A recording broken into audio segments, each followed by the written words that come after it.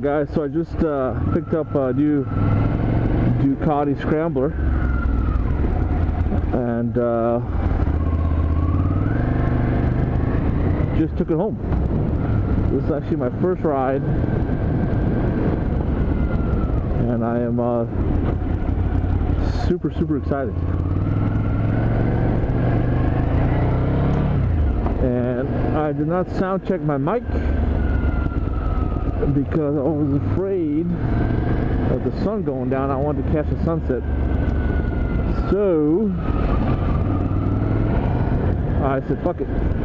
If the mic works, then I got a cool vlog. If not, then I'll just use some of the footage, throw some music in there, and just do a just kind of a, a musical piece, I guess, of, of bike. Um,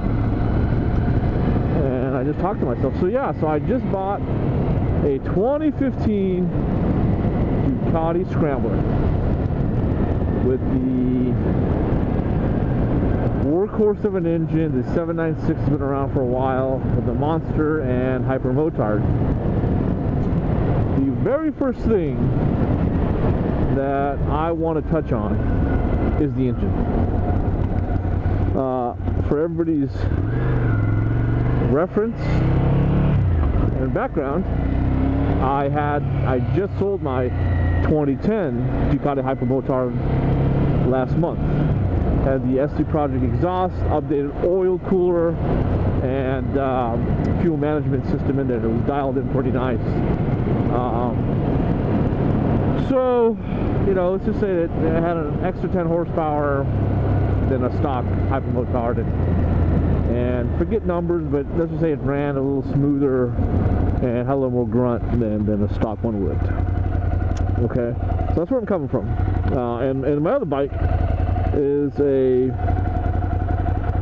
Well, I just want to see if I'm recording before I get on the road. If I get on the main road. Yeah, I am. Okay. Uh, and my other bike is a um, 2013 Victory Vegas 8 ball. So big muscle cruiser, and then I had my quasi supermoto hyper motard. Sold that bad boy last month. I thought, oh, it's a lot of wind. The uh, these vents up here. I thought that a um, that just one bike would do it, no, I didn't. So started looking at naked bikes again, and uh, I was very happy with my. Um, sorry, I messed with my helmet. Seems to be a lot of wind noise that it wasn't there before. Uh, yeah, so I, I, was very happy with my um, Hypermotard that I sold.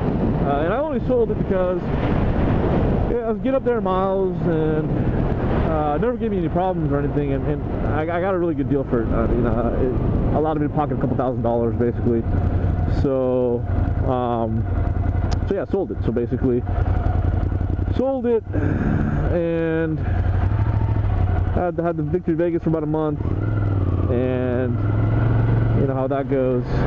After a while, a muscle cruiser just ain't enough. So start looking at other bikes. Now I was tempted to get another 796, and I looked around. I definitely did. Uh, what I mean by the 796, I mean another Hyper Motard. I looked around, didn't really find anything in my local area, and I was too lazy to go drive somewhere for it. Looked at some Monster 796s used. Um, I actually found one or two that had the right mods done to it with low miles. Uh, and you can tell the owner took care of it, and it wasn't a complete hooligan with it. Um, so, you know, test drove them, and, and, and the reason I, I, didn't pull the trigger, I was like, well, you know, the Scrambler's coming out, so do I want to get a Scrambler or not? I don't know. Mean, only a test ride will confirm. So I waited. Um, in the interim, as I waited, I definitely thought about a Monster 821 and a Hyper 821. Now, the deal with the Hyper 821 is, you know, if I had a one bike, yeah, definitely no problem. I would have got it. Uh, the price point is not a big deal. Um, uh, two points, I think, you know, two bikes, you know, like Vegas was you know, out the door almost 14,000. I just didn't feel like spending that much money for another bike and you know, buy a Hyper uh, 821 stock or you know any new bike stock. Knew I'm gonna put an exhaust and a bunch of other stuff added to it to, to make it mine. You know, that's at least 2,000 bucks. It's all said and done. So decided at this point in time I'll hold off. The Monster 821, uh, there was there was one that there was a demo bike, uh, and I was gonna get, get a pretty good deal on it. So I waited. I waited because this daggone scrambler. I waited for it to come out because I didn't want to buy the 821 and then have the scrambler come out and then, you know, kind of have buyer's remorse. So, um, so I waited. When I waited, in duration two weeks, somebody bought that 821 and the scrambler came in last night. Oh, not, two nights ago. Uh, so the dealer called me and said, "Hey, uh, I know you've been um, been asking for one of these, so I'll give you first dibs." Uh, I did not put a deposit or anything on it. He just knew I want I wanted to look at one. So went up today, called him. He said, "Yeah, it's prepped, ready. Uh, take it, take it for a nice ride." And this morning, went to the dealer. He's a really nice guy uh, here in Monterey, California, uh, Monterey Power Sports, and um, took it for a ride and. Uh, I think I rode about a good 30 miles, maybe a little less. Um, I took it easy on it, one because I was like, hey, I might bite this bike. Um, so let me let me back up and, and, and, pause and say the initial thoughts were right when I saw it. Uh, visually and as far as the dimensions, it, it, was spot on. It's exactly what I thought it'd be, and this dude's looking at me like, why is he talking to himself? Uh, that's exactly what I thought it'd be. It, it is a little lower than I expected. I thought it'd be a little taller, maybe like like a uh, you know, get a Monster 796 or 696, but it's even lower than the 696. Um, you know, I don't know about specs exactly, but I'm just talking about how it feels to me as a rider. Uh, it feels a little bit lower.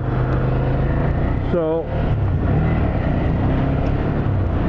anyhow, I uh, I saw it. The dimensions look good. I wasn't crazy about this yellow, man. To be honest, it's growing on me, uh, especially when the, when the sun's out and the sun's hitting it. It, it does look nice, but initially I wasn't crazy crazy about it. So I was like, okay, looks good. I sat on it for about a good 20 minutes, took a bunch of pictures, FaceTime with some of my buddies, showed them the bike, got their opinion on it. Um, the one that, that I actually bought uh, was getting prepped, and you know, by the time we got ready, came out and sounded sounded nice. So got on it. Initially, turned it on. It has it has a Ducati sound. You can kind of hear that clack clack clack clack. Um, it's got the stock exhaust, so it's, it's subdued, and, and that, that, that, can be remedied real easy.